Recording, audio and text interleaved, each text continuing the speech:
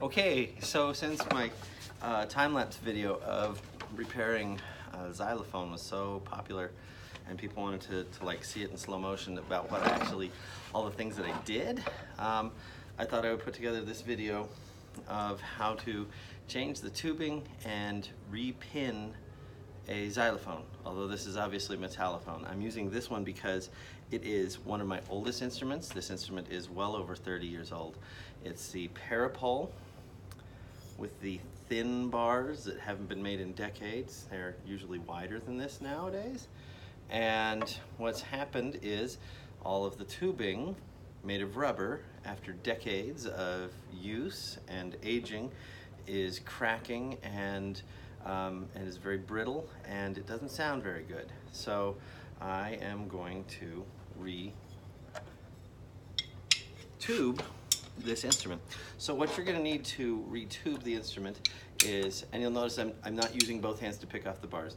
I am picking it off from the nail end so you can do it one-handed, no problem.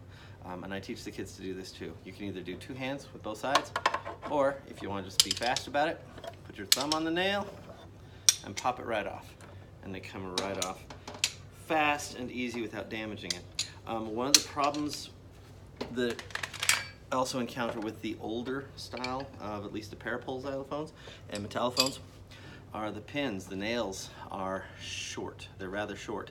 And so when somebody does take a bar off improperly, um, it puts so much pressure on the wood here that it, it shatters the wood from the inside.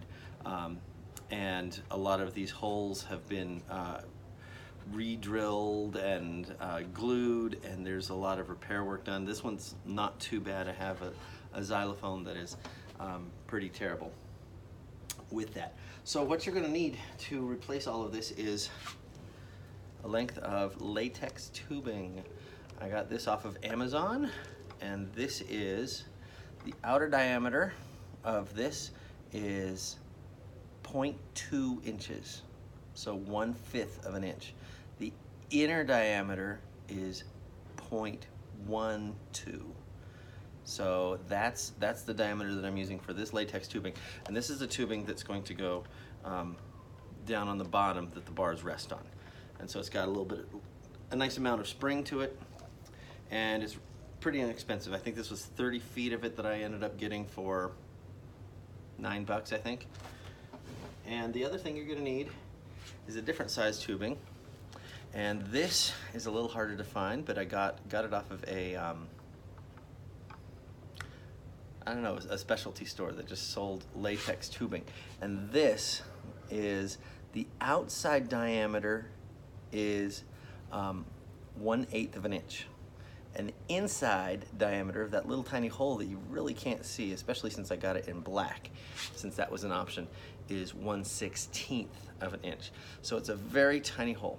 And I originally tried putting this stuff to cover the, the pins, but it does not hold, it's not small enough of a diameter on the inside. And as you play, the sheathing comes off and falls off and looks like um, macaroni laying all over the floor um, when you're done with it. And it doesn't work very well. So um, the other things you'll need are a pair of scissors, these little nippers are fantastic for pulling nails because while you can use a hammer, which you'll also need a hammer to pull the nails out this way, um, it's really hard to get leverage on anything that doesn't damage the xylophone. So I use these nippers to pull out the nails and I'll show you how to do that.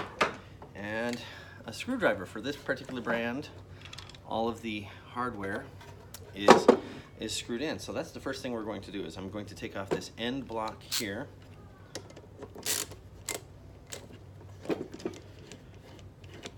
Pull out the screws and and I apologize if this takes so long. You know, feel feel free to fast forward through this part.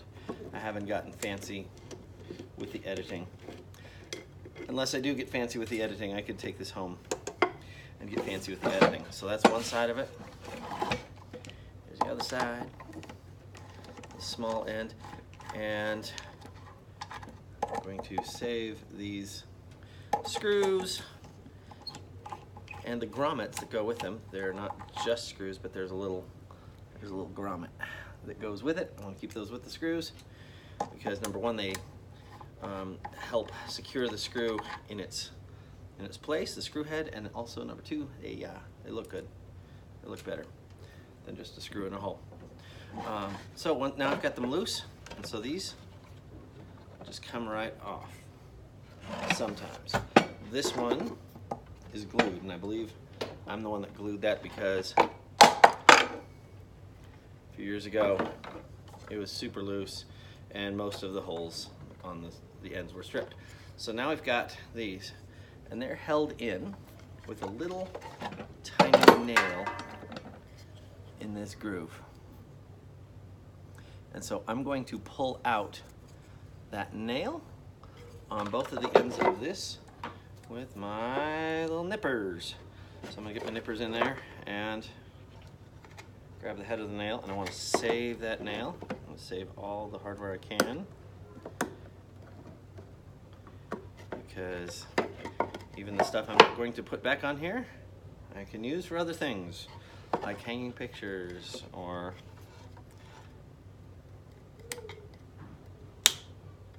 replacement parts for when it breaks again. Ah, this one's bent.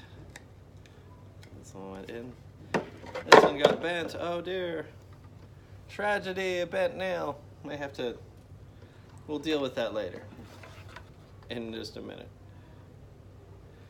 Pull the ones out of this one. And out of this one. Right there, just like that. Oh, is this another, this, here's another bent one. Oh man. Bent. What the heck? So, we got these blocks. I'm gonna set them aside for a moment. And now, we have these old bumpers in they're, uh, they're, they're kind of stiff. They're kind of stiff. Um, they're not the worst that I had. I, I fixed the worst that I had first because they were driving me crazy. Um, but these, you're gonna wanna save these just for a moment. We'll get out our tubing and you're gonna measure how long this is because depending on your make and model and when it was made, and this stuff with the make and model and when it was made um, could vary. So uh, I'm gonna measure this to make sure I put these ends together here and then these ends together here when I have the right length. I'm gonna cut it with my scissors. Boom. And I'm gonna do it twice. Because they're both the same length. Let's pull this out. So um, yeah, depending on the make and model of your instrument, you may have different pin styles and there are replacement sets for these pins. Um, and Judy Pine at West Music is pretty fantastic with finding out, you know, especially if you've got uh, Studio 49 or Sonor or even old Golden Bridge. Um, she's, she's really good at finding uh, what year and what model and the make and what kind. You just send her pictures and she's uh, she can hook you up with the right kind of repair kits. Um, this just happens to be, um, since it's Peripole, I've got uh, these things, which I'm sure I, I, could go through Peripole to get those, but I kind of, I wanted to try a little DIY action on this project.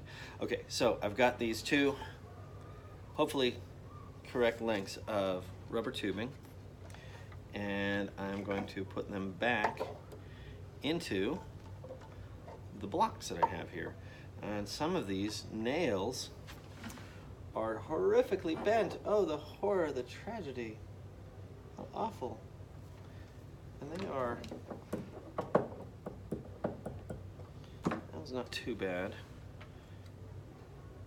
So I'm gonna hold it with my nippers because my pudgy fingers I'm never all that great at playing piano either. But they're really not great at holding teensy, tiny, little nails. And so I'll put the put the tubing into the groove, stick the nail, tap it right in.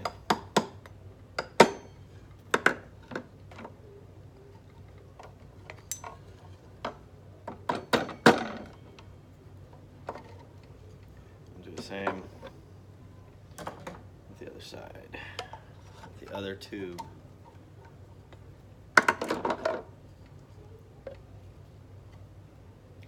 Oh, these terrible bent nails. They are really bent.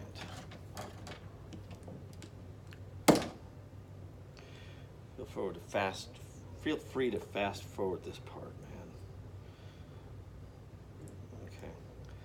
Well, they're still bent, but they're only squiggly now instead of just so completely bent. So I'll do that with the second tubing.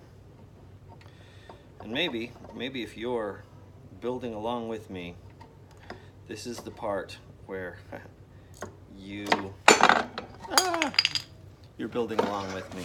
And maybe you don't mind that I'm dropping things and, and dealing with bent nails because maybe you're dealing with the same kind of thing. And that's okay. We shall deal with these things. Um, yeah, so this just happens to be, these are the lengths and um, the dimensions for the peripole instruments. And mine, like I said, some of them are very old. So I've got this one. Tap that little bub in there. And now we're ready for the big end. Same process, but on the bigger end of wood. So I'm gonna put the tubing in right here. And this only slightly bent little nail. Could have dropped in here somewhere.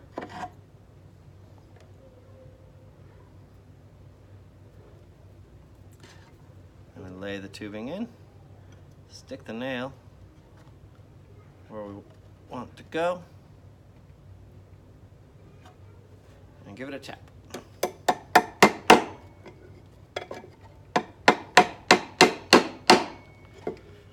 And that, that's what it looks like when you finished it there. The nail is just tapped in, holding the tubing in place. You don't have to go all the way down flush with the bottom of the groove. You just have to get the little guy to stay. And I have another nail here somewhere, but I don't know where he went. Well, that's a bummer. That's a big bummer. I think I lost it. Um, that happens. Might have to find one off the scrap pile for now. Um, so, take the other end of this. Oh, and you also, something you want to do is you want, you do want to make sure that you have the, the correct end connected to the correct end. Um, because if you don't, well, that would be bad. That would be bad. I'm wondering if I have any other. I'm going to make do with something here. This is this is how how DIY this can be. I'm going to take a paper clip. Why? Because I have a paper clip in my desk, and really, these are just nothing more than little tiny paper clips. So I'm going to snip off the end of the paper clip, and look at that. Now I have a brand new, perfectly straight, probably works better than the other ones. A little tack right here that I can tap right in to the hole if I can coordinate my hands enough to do so. So I've got that.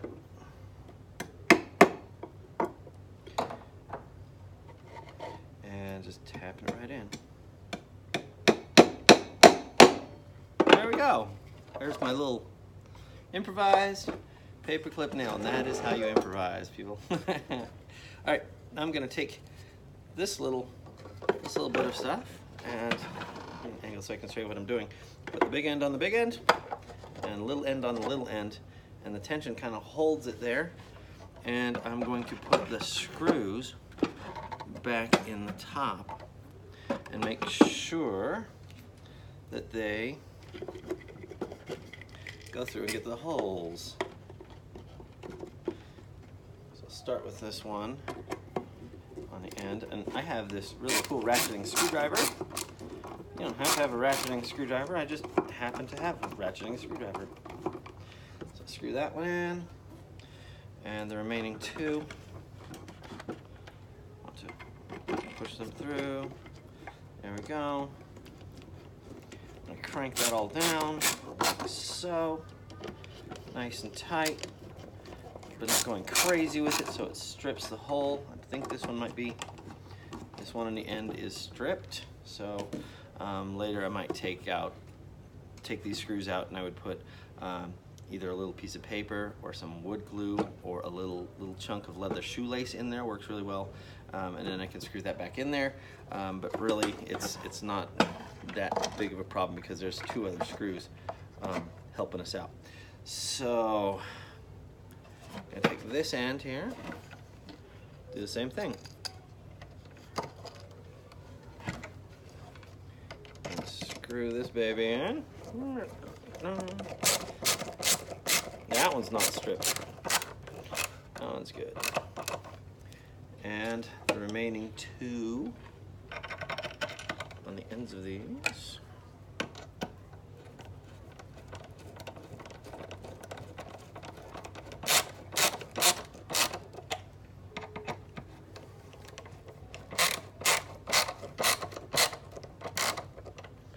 And there we go.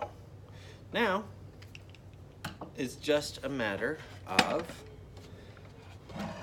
taking these tubing, this tubing that we have newly put in here, and I'm actually going to pull out these pins and replace them, but I'm going to do that in a separate video. Um, I'll do that next, so you can watch that next video. And so I'm just going back and forth, over and under, just weaving it in and around these pins on the top and the bottom. And now the tubing is replaced and it should sound much better as the bars are now riding on that tubing and making a wonderful sound. So that is how you replace this part. And hope that was helpful and see the next video for how to replace these pins and the covers to those. Uh, it's a little different process. So have a great day.